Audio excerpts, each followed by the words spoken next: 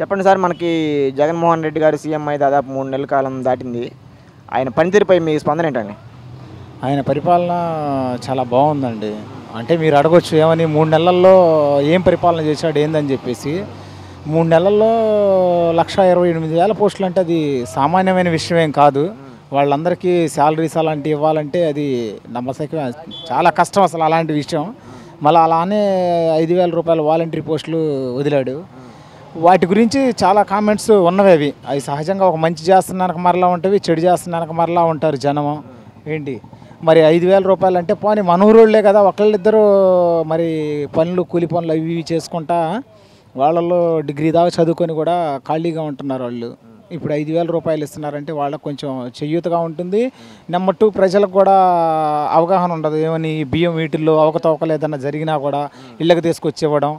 ప్రజల దగ్గరికి తీసుకొచ్చి ఇస్తానని అంటున్నాడు కాబట్టి మూడు నెలల్లో ఏం అర్థం కాదండి వాస్తవం చెప్పాలంటే. మీకు కూడా తెలుసు. ఎందుకనంటే ఒక కొత్త ఊరు వచ్చిన తర్వాత ఒక ఊరిలో మన నివాసం ఏర్పరచుకుంటే ఆ ఊరిలో ఉన్న విశేషాలు తెలియాలన్నా మినిమం మనకు నెల రోజులు పడుతుంది. ఆ ఊరి మీద ఒక ఇది అవగాహన రావాలంటే. అలాంటిది రాష్ట్రం మీద అవగాహన రావాలంటే మినిమం వన్ ఇయర్ అన్నా కానీ మనం ఆ పరిపాలన చూడగలిగితే సంపూర్ణమైన ఇది జరుగుతుంది అలాగనే గ్రామ సచివాలయం కనుక సక్సెస్ అయితే అసలు బహుశా నాకు తెలిసి దేశం మొత్తం కూడా మన ఆంధ్ర వైపు చూడవలసి వస్తుంది.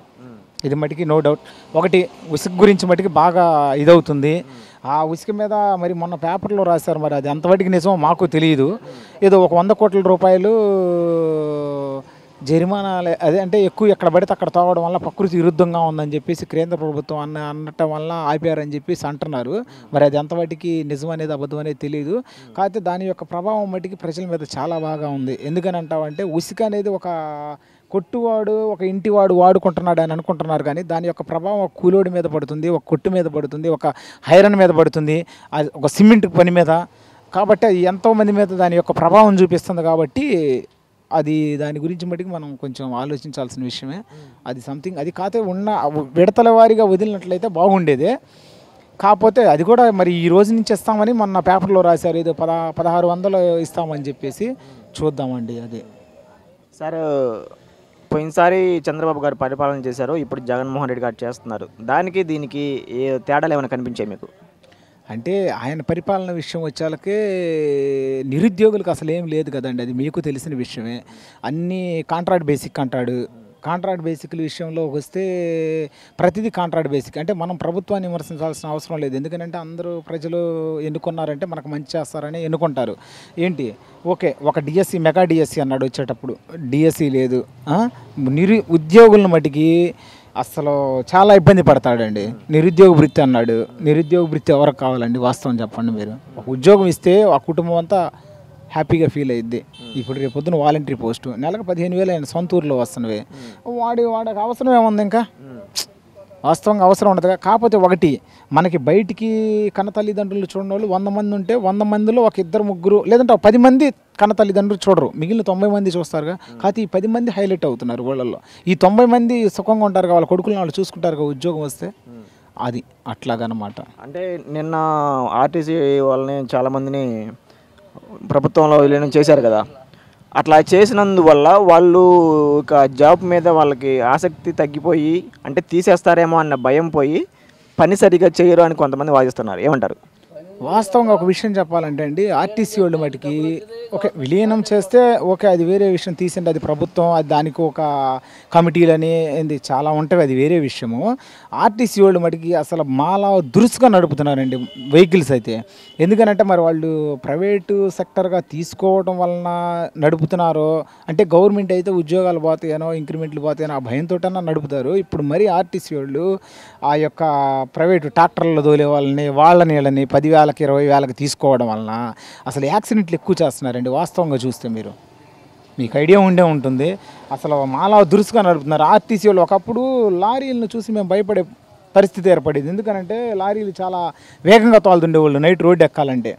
అలాంటిది ఇప్పుడు ఆర్టీసీ బస్సును చూసి భయపడాల్సి వస్తుంది. అంత వేగంగా నడుపుతున్నారు వాళ్ళు.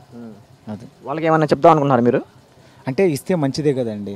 వాళ్ళ కుటుంబాలు వాళ్ళు ఎందుకనంటే గవర్నమెంట్గా వాళ్ళ ఉద్యోగాలు కూడా ఇస్తే మంచిదేగా ఎందుకనంటే అతను సర్వీస్ చాలా చేశాడు ఇప్పటి వరకు ఆర్టీసీ మీద రుణపడి ఉన్నాడు. వాళ్ళకి ఇచ్చే పదిహేను వేలలో ఇప్పుడు చూడాలంటే ఇంటి రెంటే ఐదు వేల రూపాయలు వరకు ఉంటుంది. ఇస్తే మంచిదే కదా.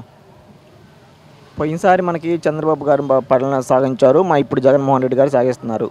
అంటే ఇప్పుడు ప్రతిపక్షంలో ఉన్న చంద్రబాబు గారు ఈ ఉన్న జగన్ గారిపై ఏమన్నా పై చేయి సాధించిన సందర్భాలు ఇప్పటివరకు అయితే ఏమైనా ఉన్నాయా? ఎవరి మీద? మన జగన్మోహన్ రెడ్డి గారి మీద. ఎవరు? చంద్రబాబు నాయుడు గారా? వాస్తవంగా అంటే అండి ఒక మాట చెప్పాలంటే చంద్రబాబు ఒకళ్ళ మీద పగ తీర్చుకునే వ్యక్తి అయితే కాదండి. అంటే ఎలాగంటే ఒక వ్యక్తిని విమర్శించడం లేదంటే సంథింగ్ ఏదో ఒకటి చేద్దాం అలాంటి వ్యక్తి అయితే కాదండి. ఏది సంథింగ్ ఏదైనా సరే అతని పని అతను చూసుకొని వెళ్ళిపోతూ ఉంటాడు. కాకపోతే ఒకటి పోస్టులు మటుకి చాలా ఇబ్బంది పెడుతుంటాడు. పోస్టులు ఇవ్వడు. అదే ఆయనకి శాపమైంది. నెంబర్ టూ అతను వచ్చిన చాట ప్రకృతి అంటే రైతులకి అనుకూలంగా లేకపోవడం ముఖ్యంగా. ఇండస్ట్రీ వాళ్ళకే.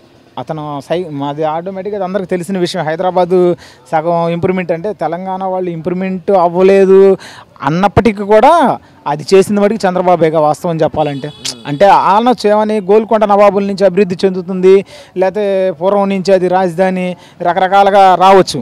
కానీ ఎప్పటి నుంచి ఉన్నప్పటికీ కూడా దానికంటూ విదేశాల నుంచి డబ్బులు తీసుకురావడం కానీ లేకపోతే ఇంకొకటి కానీ ఏ రకంగా అభి హైదరాబాద్ను అభివృద్ధి పరిచాడు అతను ఏదైనా టెక్నాలజీ పరంగా ఆలోచిస్తాడు. రైతు మన ఇండియా కల్చర్ ప్రకారం రైతు మన ఏపీ రైతు ఇప్పుడు ఇక్కడ ఉన్నారు ఈ ఊరు మొత్తం రైతులు. మీరు చూస్తానే ఉన్నారు మా ఊరు మొత్తం రైతులు పొలం పని చేసేవాళ్ళు ఎక్కువ మంది ఇక్కడ. మరి అలాంటప్పుడు నువ్వు ఆ టెక్నాలజీ అంటే దానివల్ల ఒకటిద్దరికి ఉపయోగపడుతుంది. మిగిలిన వాళ్ళంతా అయిపోతున్నారు ఇవాళ ఇతను మేము ఉన్నామండి మిరపదాడు వేసాము. మిరపదాడు వేస్తే ఈ సంవత్సరం మిరపనారు వేయాలంటే వాస్తవంగా గుండెల్లో గుబగుబాని కొట్టుకుంటుంది. అసలు అమ్మడానికి ఇల్లు లేక మొన్నటిదాకా ఏసీలో పెడితే చివరికి వస్తే రావని చెప్పేసి ఇళ్ళలో పెట్టుకుని అమ్ముకున్న రోజులు ఏర్పడాయి రైతు మీద తన ప్రభావం ఎక్కువ చూపెట్టడం వల్లనే అతను చంద్రబాబు నాయుడు గారు ఓడిపోవడానికి ముఖ్య కారణం అసలు అదే. నువ్వు రైతుని ఎప్పుడు మనం ఒక పక్క కాసుకుంటేనే కదా పది మంది ఉంటే పది మందిలో ఒకటిద్దరే చదువుకున్న వాళ్ళు మిగిలిన ఎనిమిది మంది ఇదవటమే మిని మినిమం గిట్టుబాటు రేటు ధర కూడా లేదు. వాస్తవం చెప్పాలంటే రైతుకి రుణమాఫీ కంటే కూడా ముఖ్యంగా ఒక మాట చెప్పాలంటే మందులు.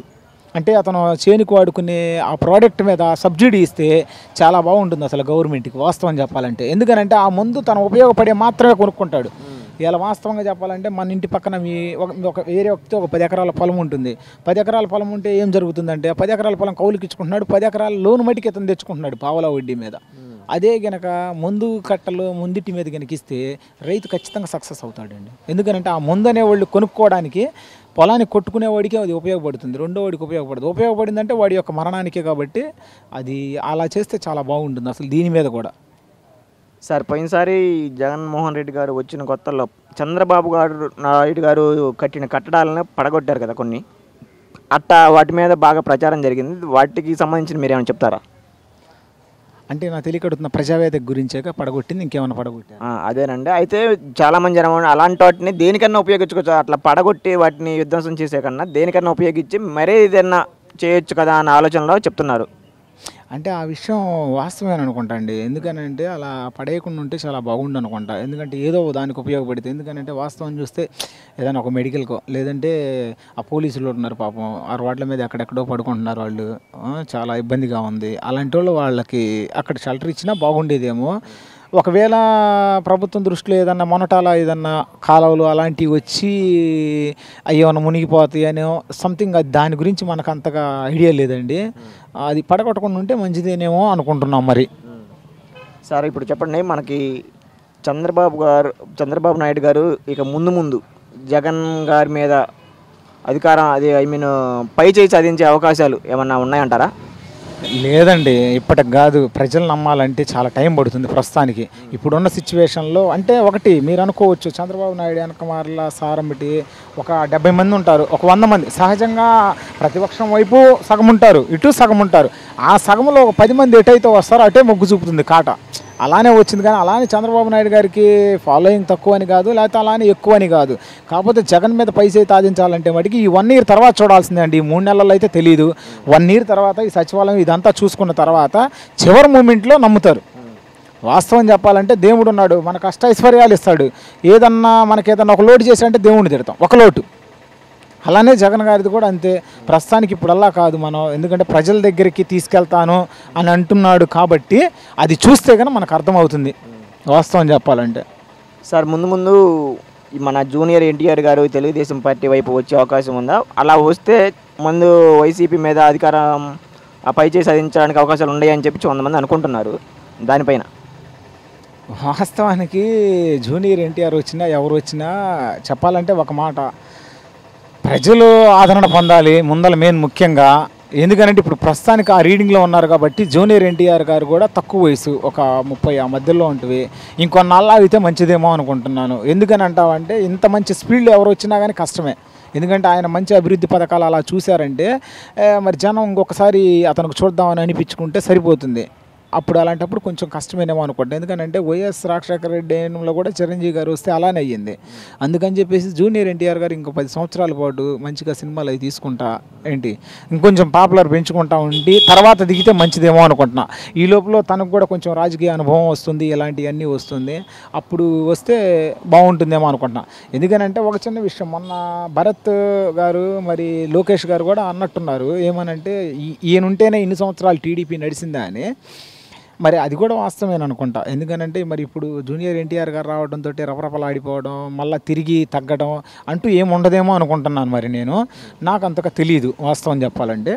మరి దాని ప్రభావం ఎంత పడుకుంటుందంటే అంతే కదా మరి వాస్తవంగా అయితే జూనియర్ ఎన్టీఆర్ గారు రాకముందలే ఈ పార్టీ స్థాపించబడింది. ఆయన గారు రాకముందలు కూడా చంద్రబాబు నాయుడు గారు కూడా మీరు గత చూస్తూనే ఉన్నారు. ఇప్పటికీ పదిహేను సంవత్సరాల మించి దాన్ని రన్ చేసుకొచ్చాడు. ఏది ఎన్టీఆర్ గారు పక్కకి వెళ్ళిపోయిన తర్వాత కూడా చంద్రబాబు నాయుడు గారు దాన్ని తీసుకొచ్చాడు. మరి ఆల్రెడీ జూనియర్ ఎన్టీఆర్ కూడా ఒకసారి జూనియర్ ఎన్టీఆర్ గారు కూడా ఒకసారి వచ్చి ఇలానే మీటింగ్ అది చేసినట్టున్నారు మహా అభి నాడు ఏదో అది. సార్ మొత్తంగా ఇప్పుడు జగన్మోహన్ రెడ్డి గారి పరిపాలన అంతా మీకు బాగుందంటారు? వాస్తవం చెప్పాలంటే అండి ఒక ముద్ద అన్నం పెట్టేవాడు మనకి కాదు. ఎందుకంటే ఆ రోజు బట్టికే జగన్మోహన్ రెడ్డి గారు వచ్చారు. హేళనలో సహజంగా చేస్తానే ఉంటాడు. పన్నోడి గురించి వాడు ఎంత చక్కగా చేసినా కన్నా చేస్తానే ఉంటాడు. ప్రకృతి అనుకూలించింది వాస్తవం చెప్పాలంటే. అంటే వాళ్ళు ఏదో ముప్పై మూడు ఇరవై మూడు సీట్లు వచ్చాయి మాకు అని చెప్పడం లేదంటే పదమూడు సీట్లే అదే మూడు సీట్లు మాకు వచ్చినాయి అని చెప్పడం అదన్నీ తర్వాత సంగతి. అది వేరే విషయం తీసేయడమే. వాస్తవంగా ప్రకృతి అనుకూలించింది. వర్షాలు సకలంగా పడుతున్నవి. రైతులు నీట్గా పొలాలు వేసుకున్నారు. ఒకసారి వెళ్ళి చూసిరండి. మాగాళ్ళు వేస్తున్నారు. కాలువలు వస్తున్నవి అప్పుడు ఎప్పుడో వచ్చినవి వాస్తవం చెప్పాలంటే. మళ్ళీ ఇప్పుడు పర్లా నీట్గా ఉన్నవి. అప్పుడు మనకి ప్రభుత్వంతో పనే ఉంటుంది. మన పంటలు మనకు పండిన గిట్టుబాటు ధర వచ్చింది. ఇంకా ప్రభుత్వం వాటి గురించి మనం ఆలోచించాల్సిన పని లేదుగా. ఆయనకు కూడా వీళ్ళందరికీ తెచ్చి పెట్టాలంటే కష్టంగా. ఇప్పుడు ఒక కుటుంబంలో నలుగురున్నారు నాలుగు పనులు పోయి నాలుగు వందలు తీసుకొని వస్తే అప్పుడు ఇబ్బంది ఉండదు. ఇల్లు గడిచిపోతుంది. అలా కాకుండా ఒకడే తీసుకొచ్చి పెట్టాలంటే నలుగురికి కూడా కష్టంగా ఉంటుంది కదా. ప్రకృతి అనుకూలించింది వర్షం పడుతున్నాయి ఆయనకు కూడా ఇంకా ప్రమా అంటే ఉండదేమో అనుకుంటున్నా. అంటే ఇది నెగిటివ్గా సహజంగా వస్తానే ఉంటాయండి వాస్తవం చెప్పాలంటే. మంచికి వస్తవి చెడుకు వస్తవే Please subscribe Myra Media. Please subscribe Myra Media. Please subscribe Myra Media. Myra మీడియాకి సబ్స్క్రైబ్ చేయండి.